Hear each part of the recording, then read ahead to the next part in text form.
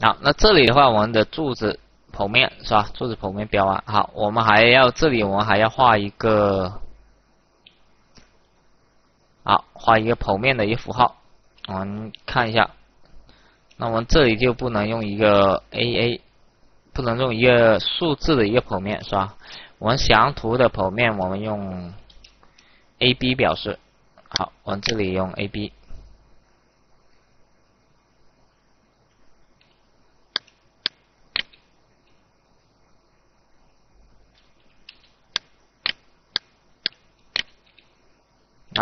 我们这边。好这里是 A A 剖面，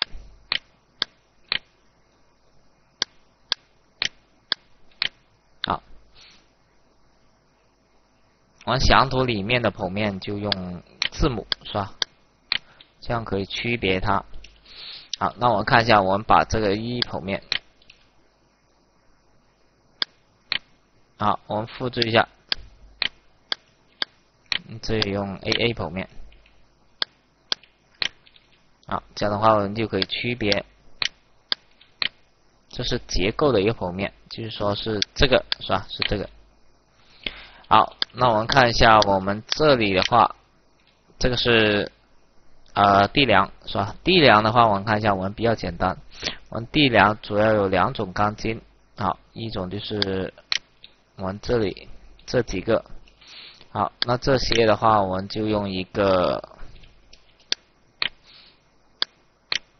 好，六根是吧？六根 five，我看一下六根。好，这里用 five 十四就行了，是吧？十四就行了。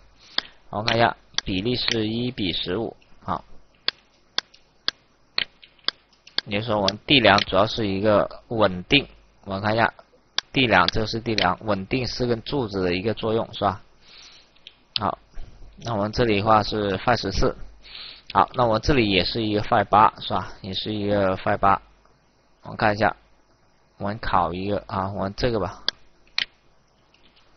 好，箍筋我们大部分都用 five 八是吧？如果省钱一点的，用 five 六也可以。好，这就比较简单，一般量的配筋都比较简单。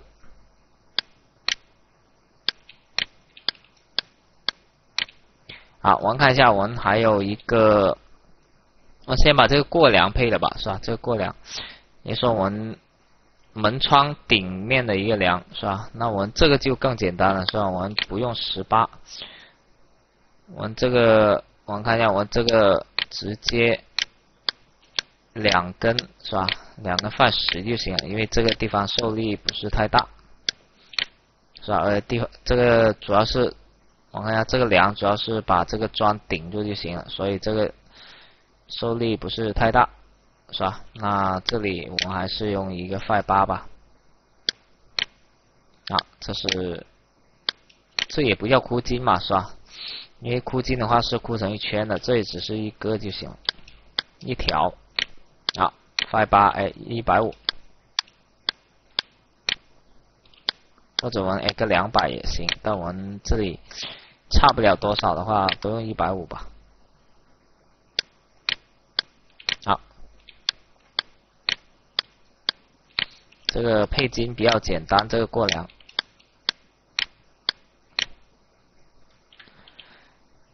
好，那我们看一下，我们这个这个是柱子梁跟一个板的一个结合的一个交接的一个剖面，是吧？那这个怎么配，是吧？这个怎么配？好，我们先把板的一个配出来。好，板的话，这个板的话怎么配筋，是吧？这个板怎么配筋？我看一下，我量一下，这些都是一百五，是吧？也就说，这个板，我看一下，这个板跟我们水井这个板是一样的，是吧？是一样的。那我们这里的话就用范十了。好，这两个就是范十。我看下这里，好，一比十的一个比例。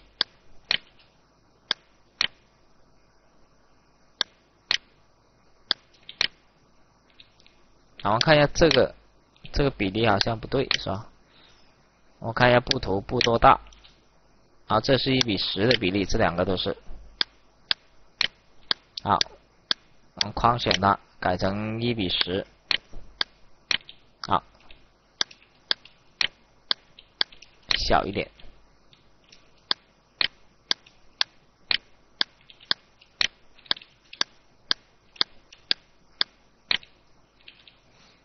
好，我们看一下，我们这里的话是，我们把这边拷过去，这个拉直来。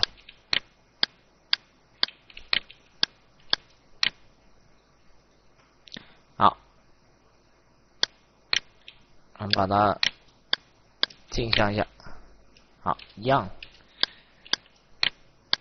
那我们这个的话就是一个。八十 A 一百五的是吧？我们这是钣金，钣金的话我们都是这样。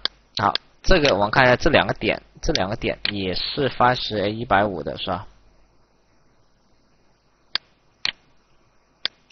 因为我们这是一个板，这是一个板，跟我们的入口石英墙的这个配件是一模一样的，是吧？我们这是一个板，钣金的话基本都是呃双层双向，是吧？或者我们这个板的话，不怎么受力的话，就是说单层就行了。但我们一定会是双向，一定会双向。双向的话，也就我们一定是排成一个方格子的，是吧？是吧？我们一定是排成一个方格子的，这样一个方格子的，是吧？所以一定是双向。好，那我们看一下我们这里的话。我们这里，我们这个梁，这个梁的话是这个是吧？这个是梁。那这个梁的话，我们这些钢筋用多大？是吧？用多大？好，那么梁的话，我们这几根，因为我们这梁比较大，我们看一下，啊，两百多是吧？两百多也不是很大。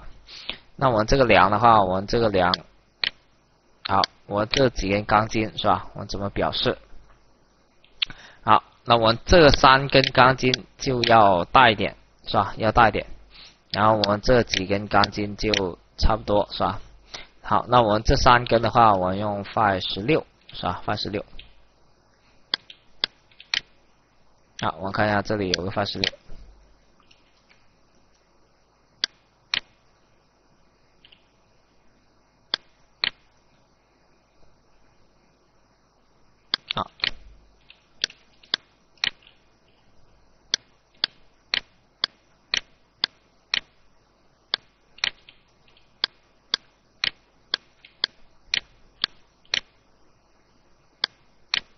这三根的话，我用个 f 十六，三三根 f 十六是吧？三根 f 十六。那我们看一下，好，我们这五根，我们这五根是吧？我们这五根，我们看一下，我们这五根的话用 f 十四，比较小一点。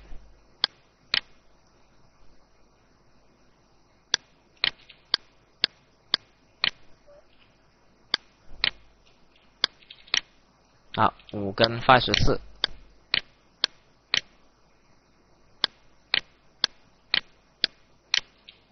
这五根发十四，好，那我们看一下，我们这箍筋都是一样，我们这个箍筋的话都是用这个，好，我们看一下，我们箍筋标这边，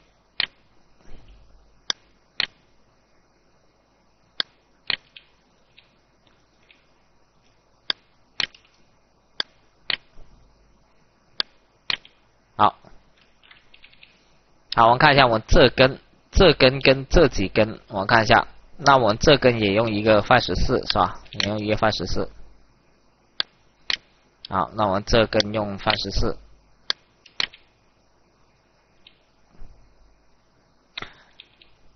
好，范十四。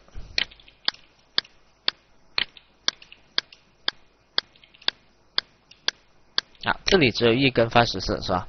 那我们看一下，我们这根。这根的话，我们就不能用 f 八，是吧？我们用大条一点，因为这根的话，它承受一个这个支撑起这个一个力，是吧？那我们看一下，我们用一个，好，我用 five 十，five 十，我看一下，我用 f 十，哎，一百五，或者哎两百，我哎两百吧，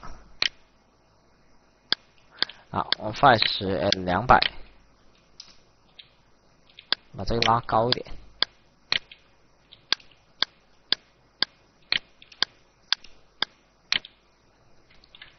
好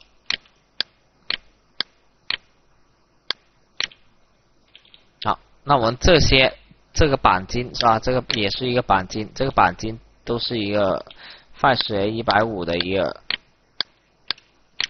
是吧？双向。好，那我们看一下我们这里还有哪个还没配的。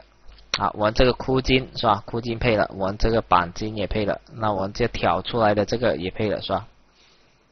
挑出来这个。好，那我们这样的话，我们这个交接的这个梁跟柱交接的这个地方，我们就把它配完是吧？这个钢筋配完。好，我们看一下我们所有。好，我们这里的话，我们这里还要标一个。梁，我们标个框梁，这是一个框梁。好，我这里是用一个一比二十五的一个比例。好，这是一个框架梁，是吧？框架梁。也就是说，我们哪个叫框架梁，是吧？一般是在地面以上连接四根柱子的。连成一个框架的一个梁就叫框架梁是吧？我们这里 KL，好，我用 KL 表示框梁是吧？框梁，好，那如果我们有几个框梁的话，就 KL 一、KL 二这样是吧？因为如果我们建筑的表达方式就是说直接这里 KL 直接配金是吧？但我们园林的话。我还是用回一个比较直观点的，比较直观点是吧？我们框梁的话，是吧？框梁的话，我们就是这个这个框梁是吧？我们标这里，好，KL KL，所以我们还是用回比较直观的一个表达方式。那这个是一些注意，这个是注意。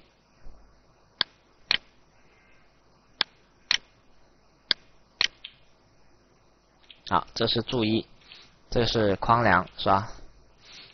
然后这个板的话，我们已经在这里配筋了是吧？我们看一下，我们把这些，这些也算是索引出来是吧？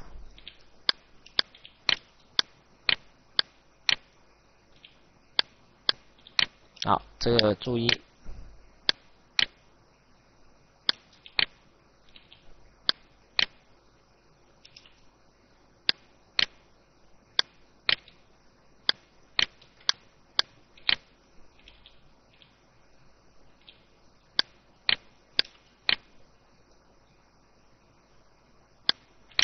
那这样的话，我们就比较直观点，我们园林配金比较直观点，是吧？是吧？好，好，我们看一下，我们把这些钢筋配完以后，我们要调整一下这个图。好，我看一下，我现在还有一个标高没有标上去，标高。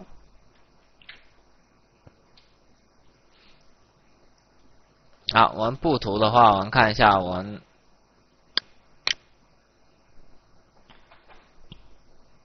比较乱，因为？因为我们标完标注的话，很多地方位置就没多少，是吧？好，我们再把这个轴线，是吧？我们剪一下，剪一下，我看一下，我拉到拉到比较紧一点。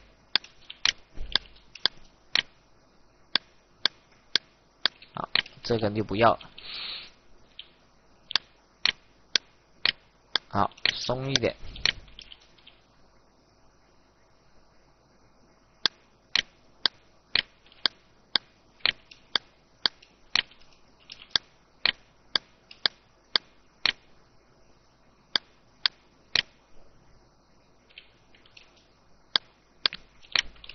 好，这个拉到这里。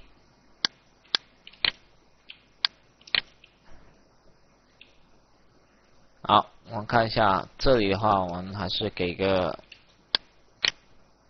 中线。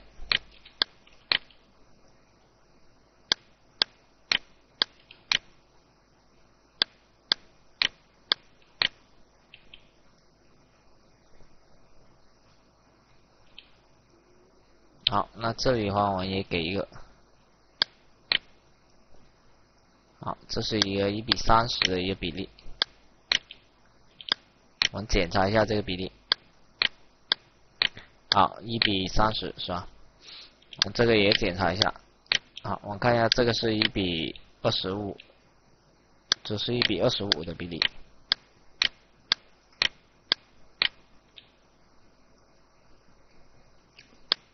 所以我们画完图的话，一定要检查一下这个比例对不对。好，我们对齐一下。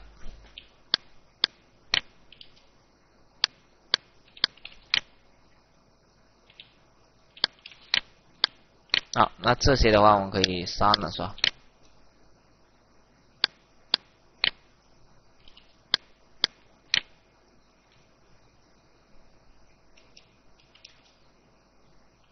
这里的话去到这里吧。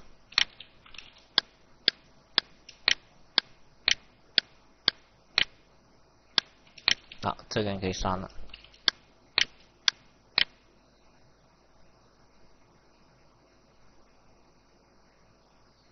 好，我们这里去到这里吧。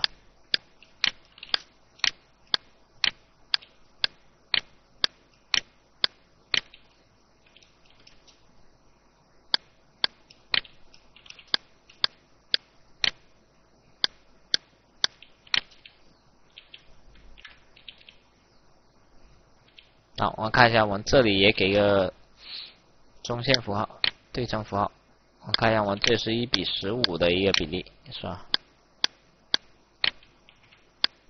好，我们调好这个比例。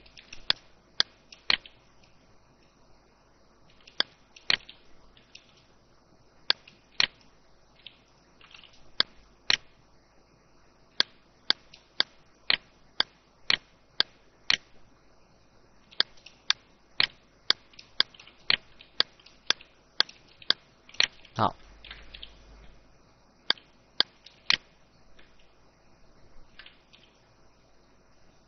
好，那我这些也拉一下，是吧？因为空间比较拮据，是吧？我们把它拉到比较宽松，是吧？拉到紧，拉紧一点，拉紧一点。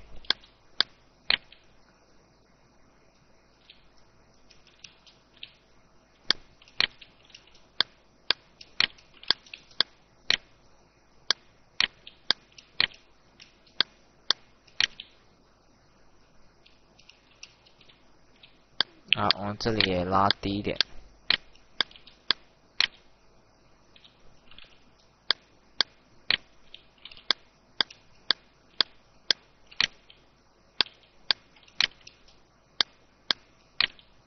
我们对齐一点，很多地方我们都要对齐。好，我们看一下我们这里，我们这个是。这样看是吧？这样看的话，那我们这个是，好，这个是一二是吧？这是一二，好，给一个二十五的一个比例。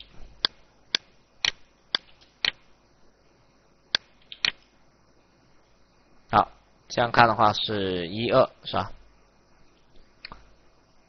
或者我们这里的话，我们给个，我们这样看吧，我们不这样看，我们这样看吧。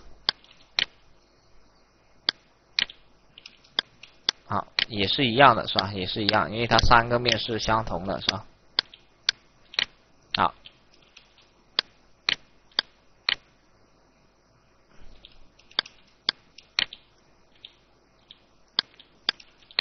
我拉一下这个。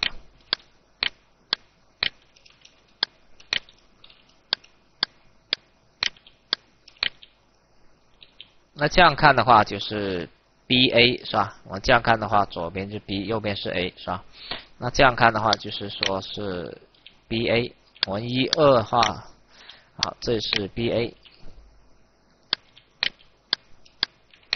是吧？我们这样这这个立面是吧？这个立面就是这个立面。好，那我们这里的话，我们看一下，我们这里的话是多少？好。我这里的话是这样看，是吧？是这样看，往这边看，好，往这边看的话，左边这里左边就是二，右边是一，是吧？所以这里的话是左边是二，右边是一，所以一定要对准这些轴号，是吧？不要错。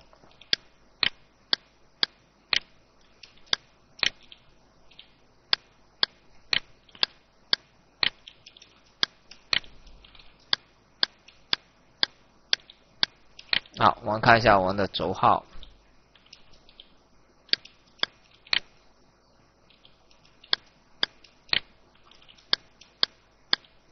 好，OK 是吧？比较完整，比较完整。好，这里还没剪。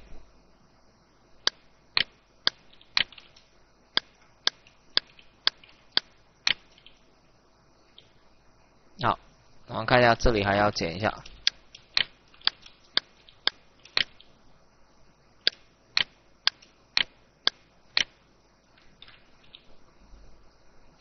好，我们看一下，我们把这些也剪一下，是吧？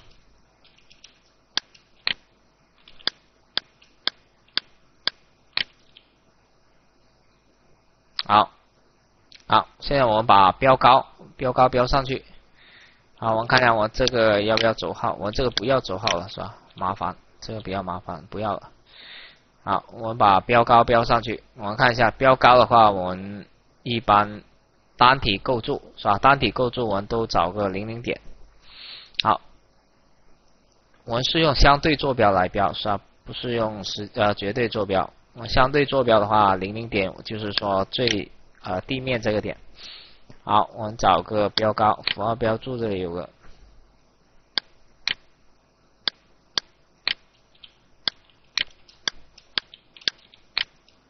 好，那是零，是吧？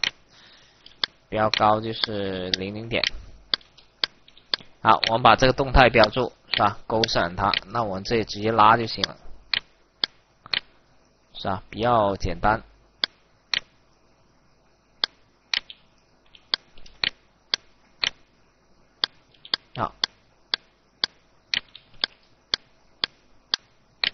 我把它选成这种有线出来的。好，那我们看一下我们这个立面是吧？立面的一个标高，把这些标完。啊，我们把这个也标一下吧。这刚好有位置是吧？好，那我们看一下我们这个立面，我就把动态标注关了是吧？因为我们直接拷过去，不关的话，我们这些就会变。直接拷过去的话，好，我们要直接拷过去，好，一模一样。那我看一下我们的剖面，剖面的话也是直接拷过来，是吧？因为我们横竖是对齐的。好，我看一下，我们把它刷一下，全部改成一比十五的一个比例，因为我们剖面是用一比十五。好，那我移一下，好，移到这个位置，移到这个位置。好，那我们看一下我们这里，我们这条路，我们看一下我这条路，我们这条路还要做一个排水，是吧？我还要往外排水，不然我下雨的话，水就往里面流了，是吧？好，这条路的话，给个百分之二的一个。百分之一的一个排水，好，百分之一的一个排水，好，这里是一个一比三十，好，这样一个排水方向是吧？好，那我们这里也是这条路的话，这里也是一个百分之一的一个排水，好，我们把这个拉。这是二十五是吧？我们把它拉高一点啊，这是十五，好，百分之一的一排水，这样的话就水就不会往里面流是吧？好，那我们看一下我们这里，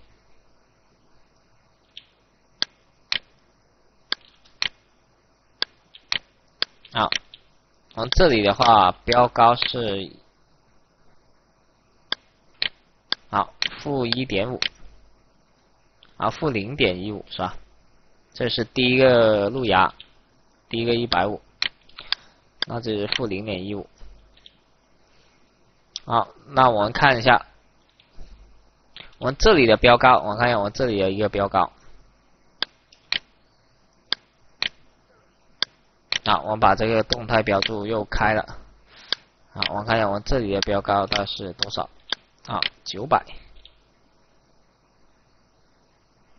好，那我们看一下我们上面这里的一个我们也标一下。好，两米六。然后拉开一点，好，那我看一下我们这个标高，是吧？标的还是比较精准。好，那我们看一下我们这个门这里，也是一个两米六，是吧？好，那我们这个柱子，我们看一下我们下面这个停柱这个也要标一个，我们把这个动态关了。好，我们这里是一个。正负零零是吧？正负零零，啊，我们标这边吧。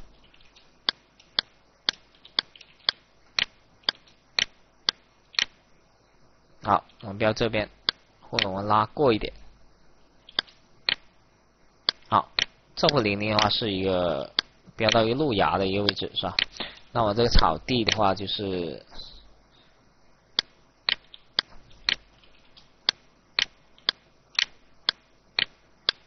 好，这是负的零点零五，是吧？第一个五公分，是吧？负的零点零五。好，那我们看一下，我们把它动态标注开了，是吧？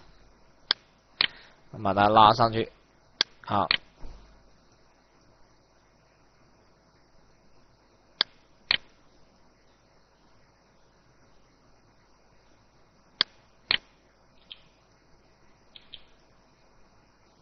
我们看一下这里，这里的话，我们看一下，把这个拉高一点嘛。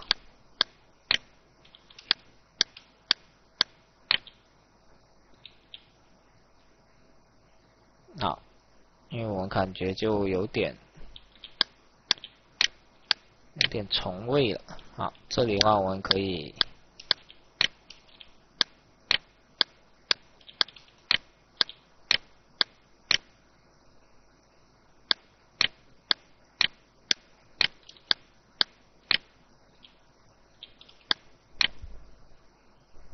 啊，我把它匹配一下。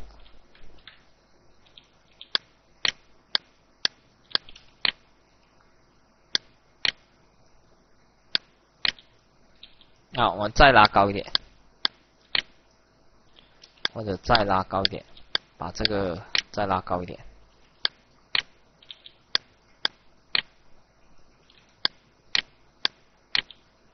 好，给一个辅助线，是吧？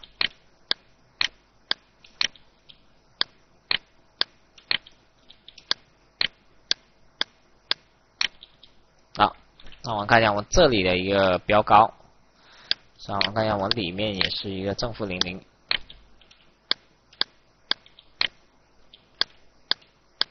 好，我检查一下比例。好，这是一比十五的一个比例。好，一比十五。好，我这个也检查一下比例。好，对，一比十五，这是一比二十五，是吧？这个是一比二十五。好，这个是一比三十。好，那我们看一下我们这里的一个标高，是吧？我们把动态关了。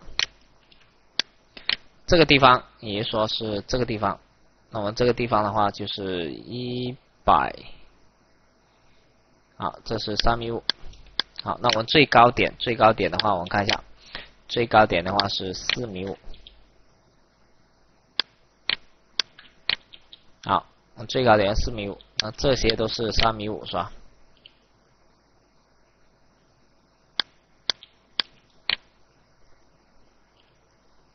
好，我们把这些也标一下。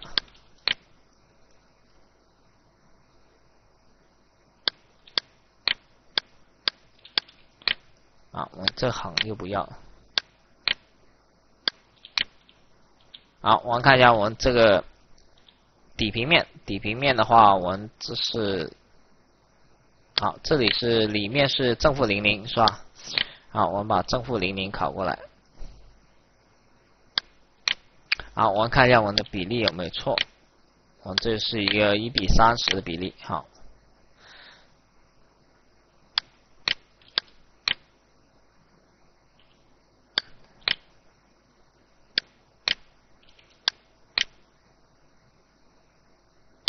好，一比三十的比例。这里的话是一个一比三十，是吧？我们把这个改成一比三十，我们全选一下。好，一比三十。那我看一下我们外面，外面的话这里是好，外面因为这里是一个路牙，路牙再下去的话，这里是一个负的十五，是吧？负的一百五十公分。那这里也就是说是外面是吧？好，那我们看一下我们这个路牙，也是一个正负零零，我以这个路牙为正负零零点是吧？往上画的。好，那我们看一下我们这边，这边的话也是一个负的，因为这路牙下来是吧？路牙下来。好，那我们这里的话是一个路牙。好这里我们考一个正负零零，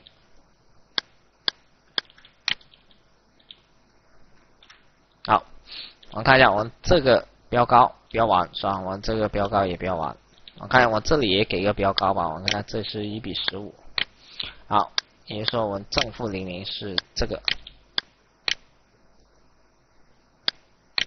好，一比十五的。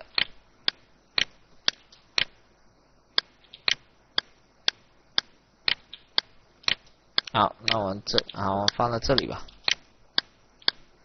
那么这里的话就是一个，我们看一下，我们把这个动态标注开了。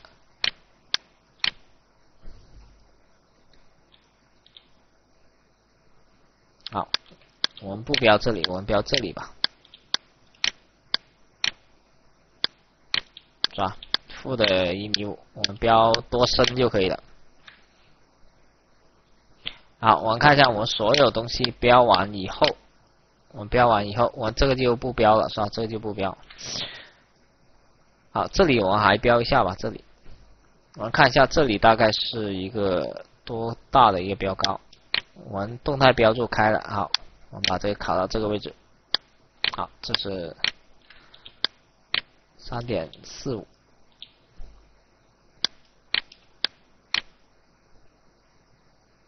好，也就说是这个地方是吧？三点四五米。好，这是一比十的一个比例。好，我们看一下我们这些，这个好三点幺二是吧？好，那我们标这两个标高就 OK 了，我们其他就不标是吧？好，那我们看一下我们这个。岗亭，我们这个岗亭所有图都画完，那我们最后我还要整理一下我们的布局，是吧？我们布局太乱了，是吧？到时候我要把这个整理好，是吧？